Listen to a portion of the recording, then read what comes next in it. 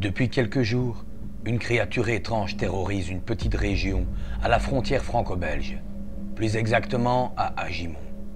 Il semblerait que ce paisible village soit menacé par une étrange bête surnommée par les habitants le Huns.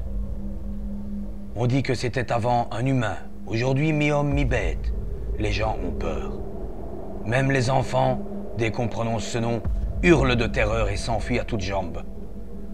Après un mois d'enquête, un de nos journalistes a réussi, au péril de sa vie, à capturer quelques images du Huns.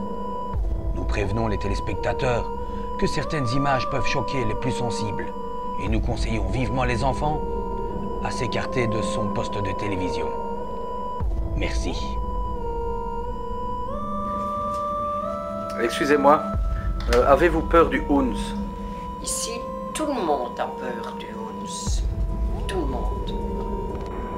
Là, nous nous rendons chez, chez des gens qui auraient ap- apparemment aperçu le Huns. Nous allons laisser l'investigation.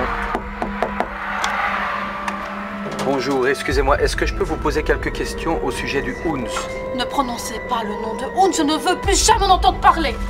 Mais attendez Bonjour les enfants Est-ce que vous avez déjà entendu parler du Huns Attendez Mais attendez J'aimerais vous poser quelques questions Attendez Qu'est-ce qu'il y a avec ce Huns? C'est quoi l'histoire du Huns?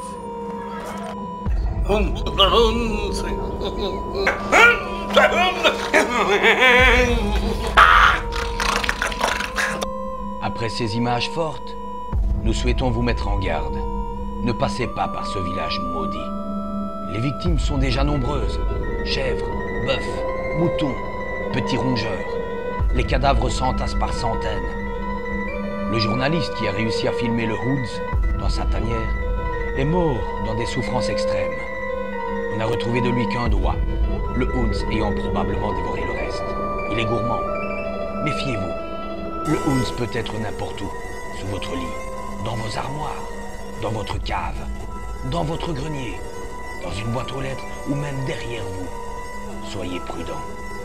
Le Huns est partout.